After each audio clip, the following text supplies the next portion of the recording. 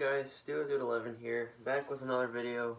Um, this video is basically just me talking about how football went for me, like for my teams in 2020. This isn't just the Steelers.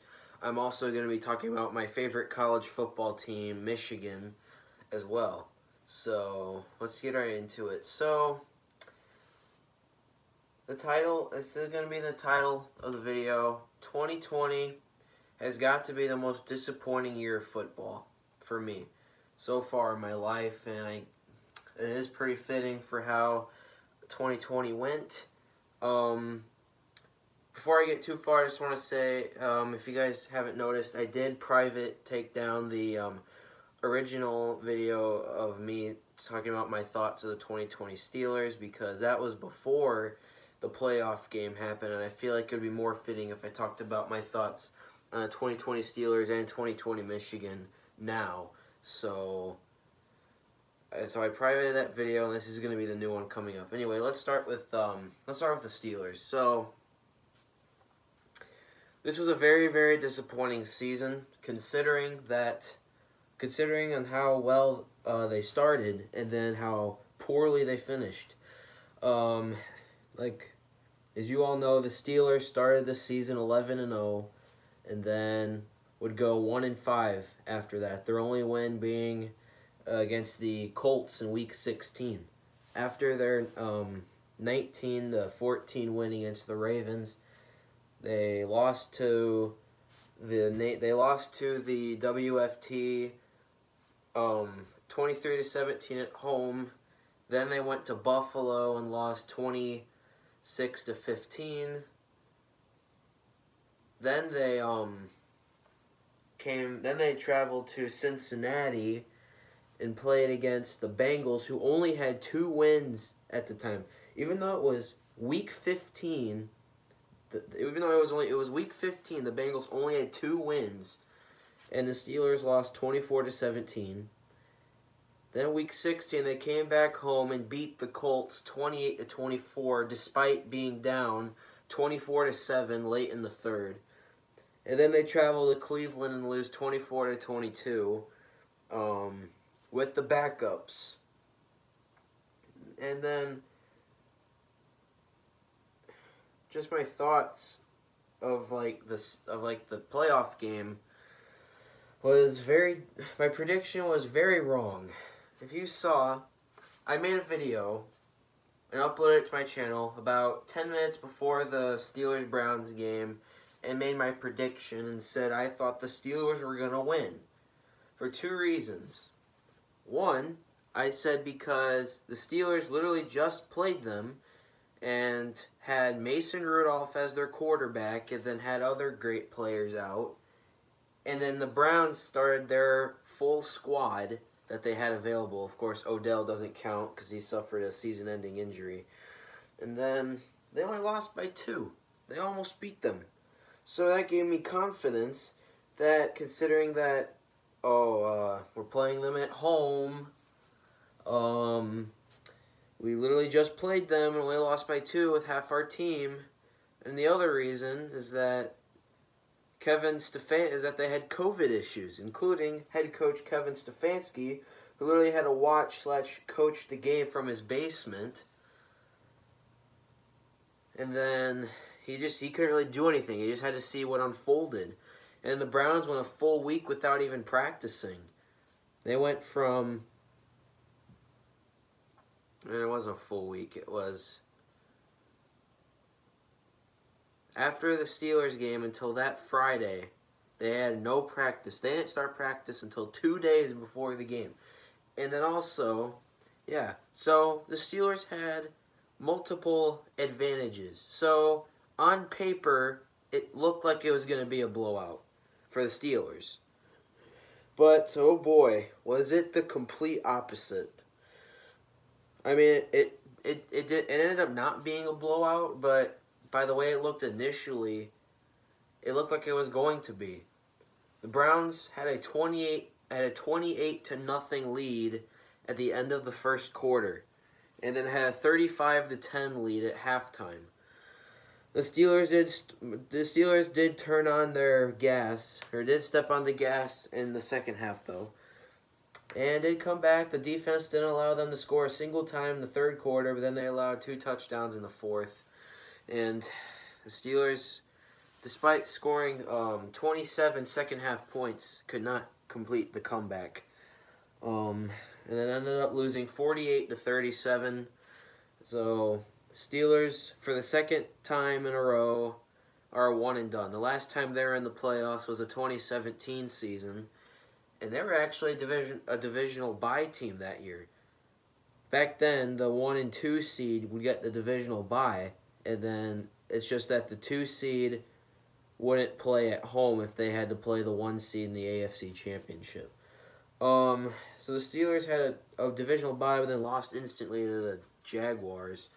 Of course, the Jaguars have been nothing since then, especially this season. They only won one game, and that was back in. They won their first game in Week One, and then went on a 15-game losing streak.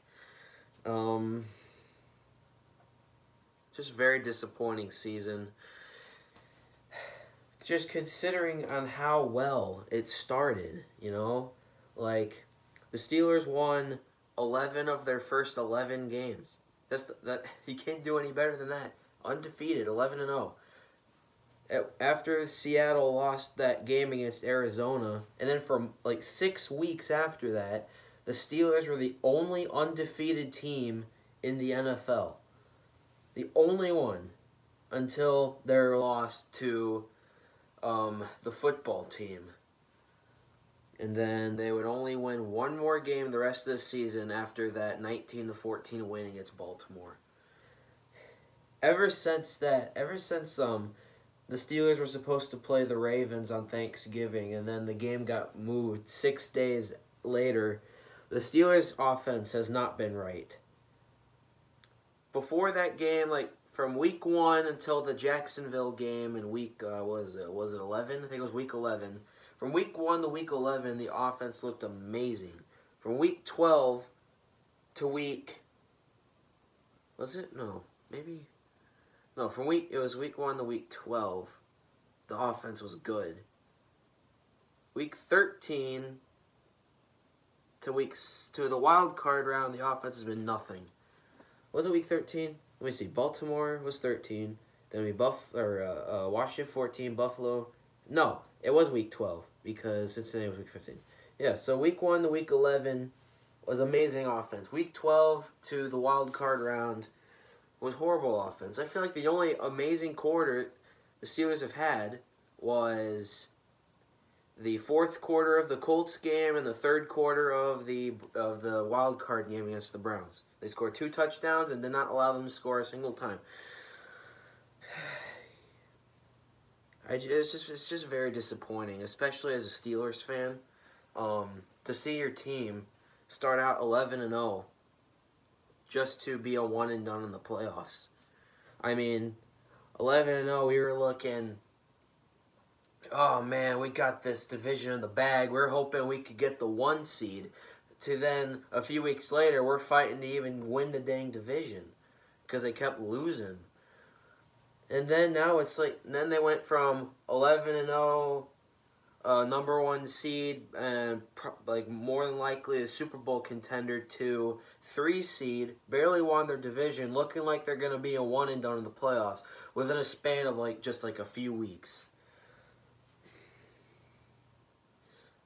People, uh, people on the offense need to be fired, especially offensive coordinator Randy Fichtner. Now I know I don't want people like people tell me in the comments about it's not all Randy. I know it's not him. Big Ben does control a lot of the offense. A lot of the play calls, a lot of the plays they do is run by Ben. It's also run by Randy as well, and ever since he came in in 2018, our offense has not been right.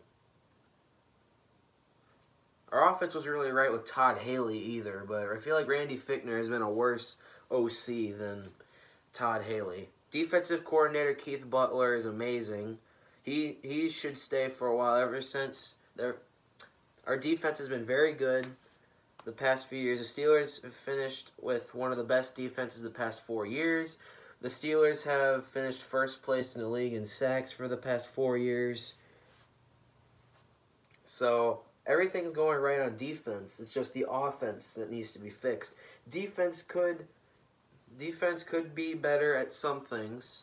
Of course, losing linebacker Devin Bush and Bud Dupree was a really big shot in the heart. Like those two those two losses were really bad for us. Joe Haden didn't play in the wild card round either. Mike Hilton got hurt in the game too. Um, the offense, Ben Roethlisberger. I mean, great comeback season. I mean, I don't know. I mean, you go. I don't. Never mind.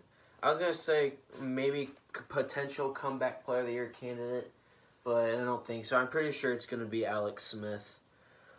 Um, running back, running backs are horrible. Steelers finished the season dead last in rushing offense. The rush, the running attack did start pretty well, but then ever, ever after week six, it's just been nothing like I explained the last video, uh, it just every single time we run the ball, it's like a two yard gain every time or a loss. And then our leading rusher at the end of the game is usually James Conner. And he only has like 20 or 30 rushing yards a game. Receiving has had its ups and downs. Um, especially with rookie Chase Claypool. Um, I think he has been a great rookie. He's been. I think he's a really good receiver, and he's going to be a great addition to the Steelers. Um, he does have some struggles though, but hey, he's a rookie. It makes sense. Rookies aren't perfect when they first come in, but they will learn and get better. Um, other receivers, Eric Ebron has been okay. I mean, he hasn't been horrible, but he wasn't as good as I thought he was going to be after seeing how he performed at the Colts in 2019. Um, but he has has some butterfingers, but the biggest butterfingers candidate definitely has to go to Diontae Johnson. Diontae Johnson was probably our worst worst of the main three receivers. And he definitely was the worst. I mean, he was really good. He was our leading receiver on the team for a long time, but then and then he just had that streak towards our when we had to start our losing streak. He just kept dropping everything, and it hasn't really fixed. He's gotten a little better, hasn't been horrible. And then Juju is something else. He Juju has has Juju went from being the most liked receiver in the NFL to the most disliked receiver in the NFL, all because of him being an idiot. He's starting to turn into Antonio Brown. I hope it gets better. I hope he doesn't act like an idiot again. He's he's a free agent now. Um, he says he wants to stay at the Steelers. Their teammates, Ben Roethlisberger said they want him to stay at the Steelers too. I just hope that Juju learns from his idiotic behavior and gets better and has a better 2021. But he has been on a decline. Juju's best season was his rookie season ever since then, he hasn't really been that good. I mean, he's been good, but not as good as his rookie year.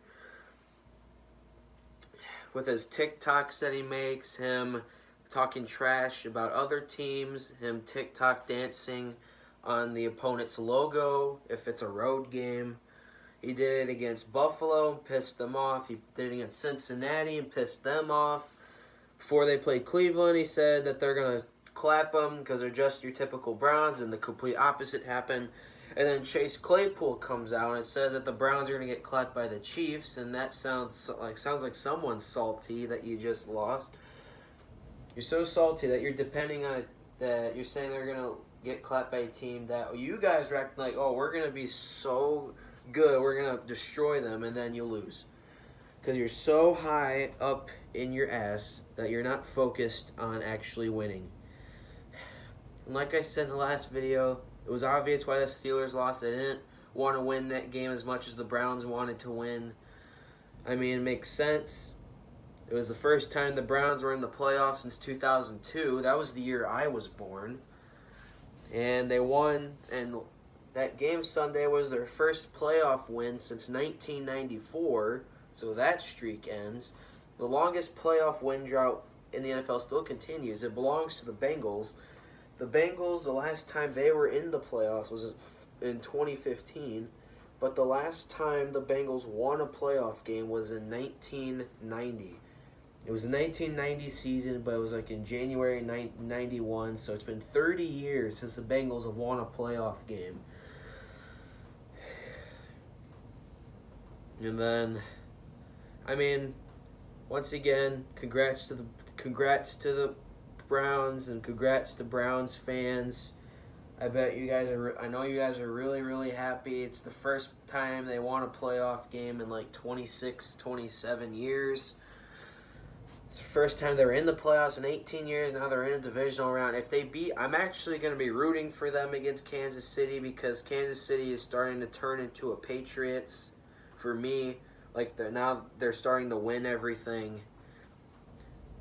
And also, the Chiefs are very overrated. Uh, their record is they are not like I said in our my predictions video. We did one on on my friend Ethan's channel, Player One.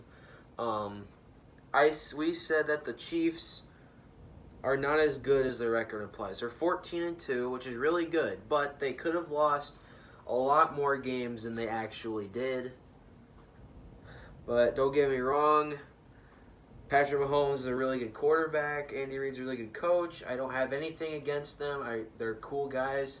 It's just, for me, when I see a team win everything all the time, it starts getting annoying. Unless if it's my team, of course.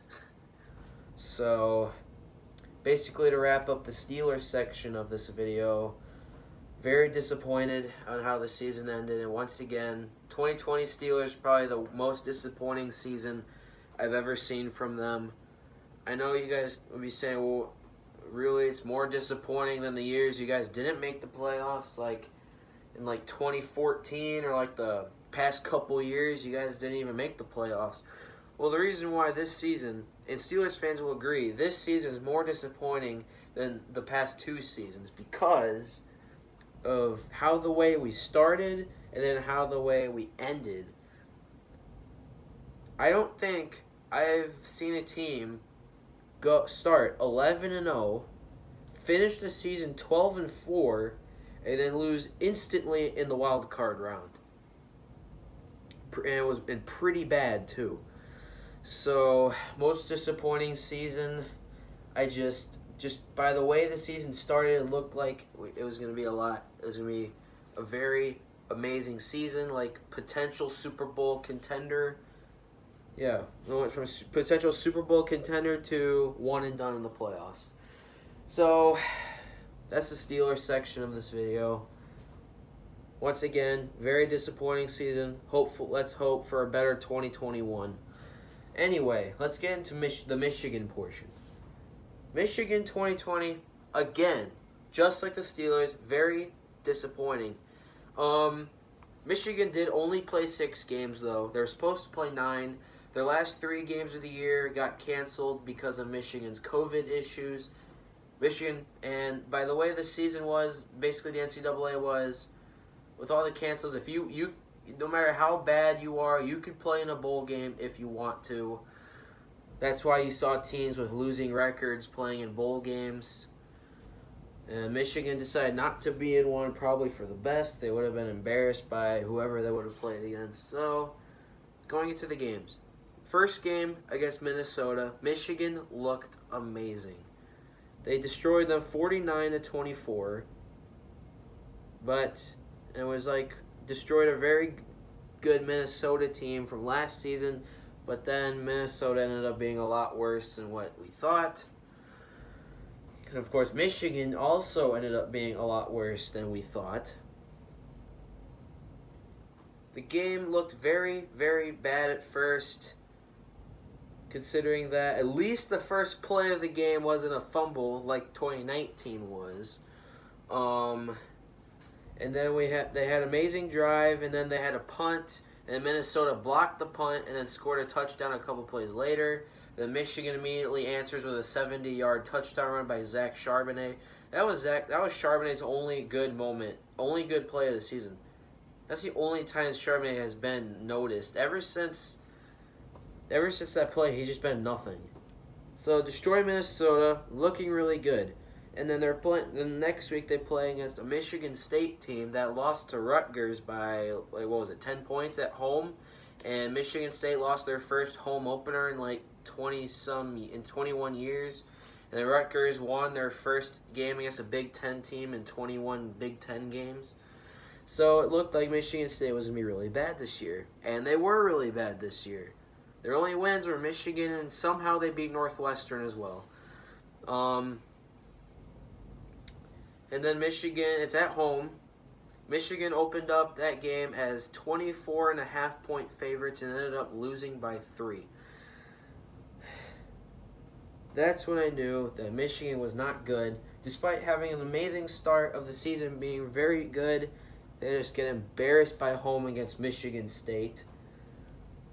Joe Milton, I mean, I did not listen to hype this year, unlike 2019. In 2019, I was very disappointed by the season, only because I listened to hype and truly believed that Michigan was going to go undefeated. Um, 2020, I was like, I'm not going to listen to any hype because I don't want to be disappointed again. And I saw videos saying Joe Milton is going to be the next Cam Newton, which, ironically, yes, because they were both pretty bad in 2020. Um, but yeah, Joe Milton, he looked amazing in the in the um, Minnesota game. Then ever since he's been horrible, throwing horrible passes, like interceptions that go straight to defenders. And then the next week they played um, Indiana and lost that. Indiana beat Michigan for the first time since the 80s. And um, Joe Milton looked horrible. The defense looked horrible, especially especially the defense. Biggest weakness of the defense that game was that they jumped off sides like seven or eight times in the first half. It was very bad. And like it just kept going and going, like they wouldn't stop. Jumping off sides. And all the all the Michael Penix, the Indian quarterback, this is all he was doing. He was just doing this. That's it. And then they would go, every time. That just shows you how inexperienced the uh, defense is. The defense, Michigan defense, which if only a couple years ago used to be very, very, very dominant, and now they're very weak. I mean, it is young. I mean, we don't have a lot of ex- they don't have a lot of experienced players in the defense. Um, then the next week they're back at home against the Badgers and they just got absolutely crushed. They lost 49 to 11. I think it was like uh, 20, 35 to nothing at one point, wasn't it? Um, they even benched Joe Milton for Cade McNamara. He came in and looked really good. The next week they played Rutgers at Rutgers, and for some reason they decided to start Milton, and unsurprisingly, he was very bad. And then Rutgers got up to a 17 nothing lead. So then they put in Cade McNamara, who played very, very well, and and then, and then they ended up um, winning forty eight to forty two in triple overtime. So then after that, then they pl- went back home and played the 0 5 Penn State.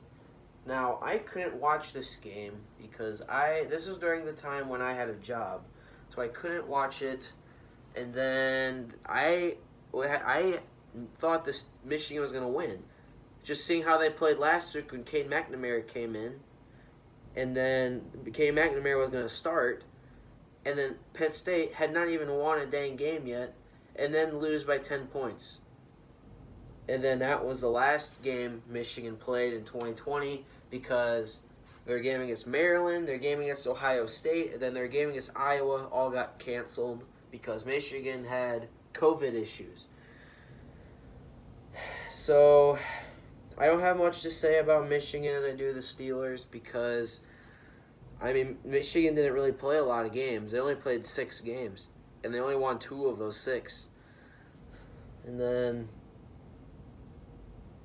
of course, Michigan fans were saying they want Harbaugh fired. How does Michigan respond? By giving Harbaugh a contract extension through 2025. So he will be the head coach for the next four years. Is it a bad thing?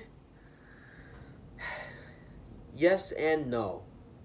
No, because Harbaugh knows he can win games.